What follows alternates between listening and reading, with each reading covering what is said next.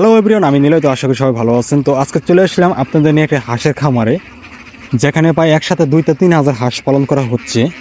এটার লোকেশন নাটোর, চামটা, চরণবিল। তো এই জায়গায় কিন্তু দেখতে পাচ্ছেন যে অলরেডি কিন্তু অনেক হাঁস পালন করা হচ্ছে এবং এখানে আরও হাঁস আছে যেগুলোকে এখন বর্তমানে চড়াই নিয়ে যাওয়া হয়েছে খাওয়ানোর জন্য। আর যেগুলো বর্তমানে ঘরে আছে সেগুলোকে এখানে যে কর্মচারী থাকে তিনি কিন্তু খাওয়া দিচ্ছে।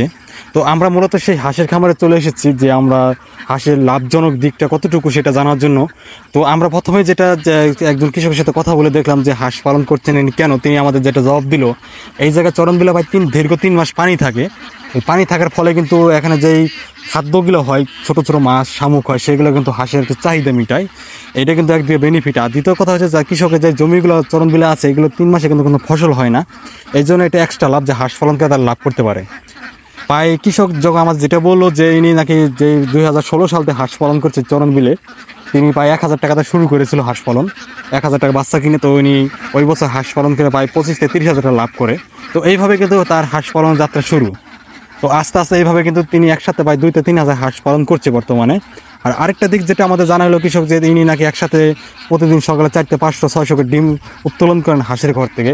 এমন সময় হাজার, দুই হাজার করে ডিশ, ডিম তোলেন। তো সবসময় কিন্তু হাসি ডিম একশো একরকম হয় না, কারণ কোনো হাঁস ডিম দেয়, কোনো হাঁস ডিম দেয় না।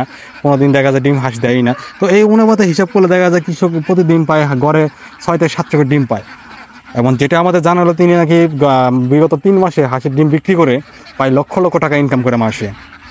তো মূলত এই যে টেকনিকটা হচ্ছে যে চরণবীর হাঁস পালনের যে, প্রথমত কথা এখন যে খাওয়াগুলো লাগতেছে, এখন তো কৃত্রিম উপায়ে খাওয়া দিতে হচ্ছে। তো ভবিষ্যতে যখন চরণবিলে পানি আসবে, তখন কিন্তু এই খাওয়াগুলো তাদেরকে দিতে হবে না। কারণ সারাদিন পানির মধ্যে হাঁস থাকবে এবং সন্ধ্যা হলে ঘরে চলে আসবে।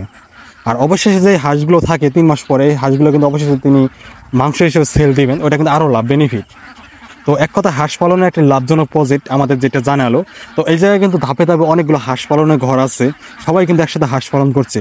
আর আমরা বর্তমানে যে খামারের ভিতরে উপস্থিত আছি, এটা হচ্ছে খাকি ক্যাম্বেল হাঁসের একটি খামার। তো এই জায়গায় সব, সবই ক্যাম্বেল হাঁস। আর এই জায়গায় কিন্তু পুরুষের সংখ্যা খুবই কম, মহিলার সংখ্যাই বেশি মহিলা হাঁস।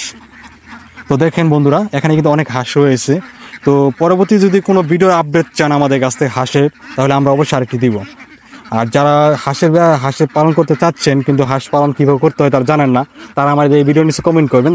যারা বর্তমানে হাঁস পালন করছে যে খামারেই তাদের কাছে আপনাদের কিছু কিছু বিস্তারিত শুনে দেওয়ার চেষ্টা করব এই চ্যানেলে তো দেখেন, আর হাঁসের ডিম কিন্তু আমাদের শরীরের জন্য খুব একটা পুষ্টিকর শীতকালীন জন্য। এটা হচ্ছে মূলত কথা। আর হাঁসের ডিম কিন্তু আমাদের বাংলাদেশে অনেক চাহিদা পূরণ করছে, এটা আমরা সবাই জানি। আর বর্তমান সময় আসলে হাঁসের ডিমের যে পাই কিন্তু ষাট টাকা হালি, এক হালি ডিমের দাম ষাট টাকা। মূলত এইভাবে কিন্তু হাঁস পালন করে কৃষকরা অনেক লাভজনক হচ্ছেন আর ওনাদের আরও একটা ইচ্ছা আছে সামনে বছর ওনারা নাকি একসাথে দশ থেকে বারো হাজার হাঁস পালন করবেন। তো বন্ধুরা, আজকের এই ভিডিওটা একটু পর্যন্ত যদি আমাদের ভিডিওটা আপনাদের কোনো হেল্পফুলে আসে, তাহলে আমাদের চ্যানেলটি সাবস্ক্রাইব করে রাখবেন। আর আজকে আমরা ওয়েদারটা খুব ভালো না, কারণ আজকে সারাদিন মেঘের বৃষ্টির মতো আবহাওয়া। তারপর এই বৃষ্টি দিয়ে আপনাদের একটা ভিডিও দেওয়ার জন্য আমি চলে আসলাম। তো সবাই ভালো থাকবেন, সুস্থ থাকবেন। ভিডিও দেখার জন্য অসংখ্য ধন্যবাদ।